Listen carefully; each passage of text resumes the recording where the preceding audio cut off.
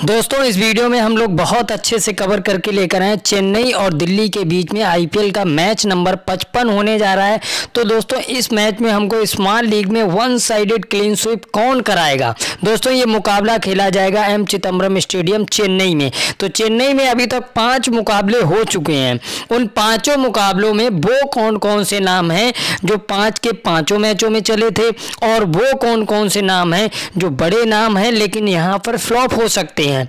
ये सारी चीज़ें मैं आपको क्लियर कर दूँगा। साथ में मैं आपको बताऊँगा, हमें स्मॉल लीग में किसे कैप्टन और वाइस कैप्टन बनाना है? इस सत्तावन करोड़ वाली लीग के लिए दो स्पेशल प्लेयर और स्पेशल कैप्टन वाइस कैप्टन आपको बताऊँगा। सिर्फ़ अगर आप इस वीडियो को 10 मिनट की वीडियो को पूरा देखोगे तो इस दो करोड़ वाली लीग छप्पन करोड़ वाली लीग में दो करोड़ रुपए जिसमें फ़र्स्ट प्राइज है, उसमें भी आप बहुत अच्छी रैंक हासिल करोगे। साथ में दोस्तों स्मॉल लीग में तो तो आप वन साइडेड क्लीन स्विप करोगे ही करोगे। दोस्तों, आपको बता दूँ, अगर आपने अभी तक टेलीग्राम को ज्वाइन नहीं किया है तो समझ लीजिए आपने कुछ भी नहीं किया है। टेलीग्राम में ज्वाइन करने के फ़ायदे क्या हैं? दोस्तों, हर एक मैच के बाद टॉस के बाद आपको final playing eleven impact player की जानकारी और फाइनल टीम मिल जाती है।